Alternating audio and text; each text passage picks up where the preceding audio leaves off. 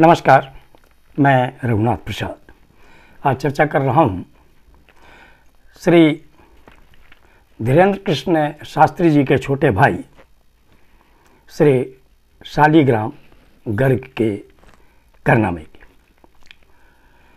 बागेश्वर धाम के बाबा श्री धीरेन्द्र कृष्ण शास्त्री का जिस तरह से महिमा मंडल कुछ टीवी चैनल कर रहे हैं कुछ राजनीतिक नेता कर रहे हैं और कुछ हिंदू संगठन कर रहे हैं। स्वाभाविक है कि उनके परिवार का रुतबा काफ़ी बढ़ गया। है बागेश्वर धाम में कोई कार्यक्रम रखा गया था सामूहिक विवाह का।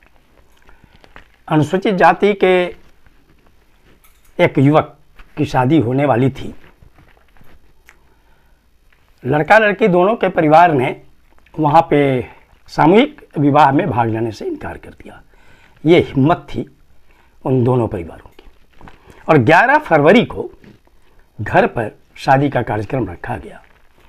यह बात शालीग्राम गर्ग को बर्दाश्त नहीं हुई, क्योंकि मानसिकता तो दबंग की स्वाभाविक तौर पर है उनकी।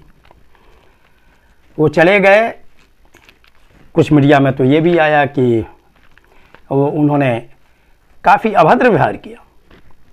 क्योंकि अनुसूचित जाति का परिवार था, इसलिए स्वाभाविक ये काफ़ी चर्चा का विषय बना और ये हथियार भी लहरा रहे थे। इससे ज़्यादा दुखद बात क्या हो सकती है कि जिस शालीग्राम गर्ग की उम्र सिर्फ़ 22-23 वर्ष है उनकी इतनी बड़ी हिम्मत कि किसी अनुसूचित जाति के यहाँ होने वाली शादी में जाकर उन्होंने बखेरा खड़ा किया। अभद्र व्यवहार किया परिवार के साथ, उन्हें धमकी दी। मामला चूँकि काफ़ी चर्चित हो गया था, इसलिए ये मामला तो थाना में जाना ही था। मध्य प्रदेश की जो संबंधित थाने की पुलिस है, उनके द्वारा एफआईआर किया गया। जो सूचनाएँ आई हैं, उसमें अनुसूचित जाति, अनुसूचित जनजाति जो अट्रोसिटी एक्ट है, उसके तहत भी धाराएँ लगाई गई हैं। स्वाभाविक तौर पर पूरा देश न केवल मध्य प्रदेश वरन पूरा देश इस बात की प्रतीक्षा कर रहा है कि इस रसूखदार व्यक्ति की गिरफ्तारी कब होती है। भीम आर्मी के संस्थापक और रा, राष्ट्रीय आज़ाद पार्टी के अध्यक्ष ने आज़ाद समाज पार्टी के राष्ट्रीय अध्यक्ष श्री चंद्रशेखर आज़ाद ने सरकार से उनके अविलंब गिरफ्तारी की मांग की। मैं ये कहना चाहूँगा कि जो व्यक्ति काफ़ी बड़ी संख्या में जुटे हुए लोगों को प्रवचन देते हों, उनके छोटे भाई इस तरह की गलत हरकत कर रहे हैं, इस संबंध में उनका क्या कहना है?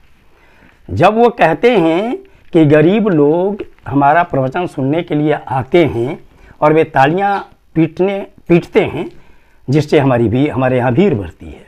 तो इन्हें अच्छा लगता है।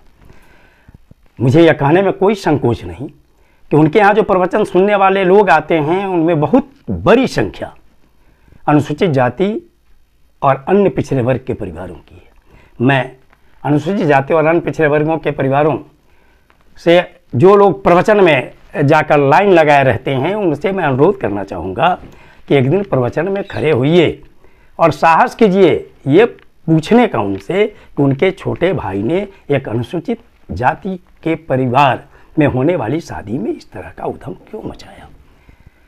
क्या वे हिंदू नहीं?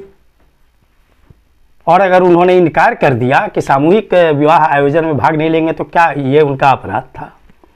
निश्चित तौर पर मध्य प्रदेश की सरकार से भी अनुरोध है कि इस विषय को गंभीरता से लिया जाना चाहिए, ताकि किसी भी रसूखदार परिवार को इस तरह की गलत हरकत करने का की हिम्मत नहीं आए। ये वीडियो आपको अच्छा लगा हो तो निश्चित तौर पर लाइक करें, शेयर करें।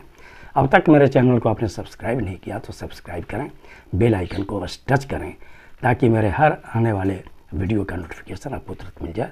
आप सभी लोगों के लिए शुभकामनाएँ, धन्यवाद, जय।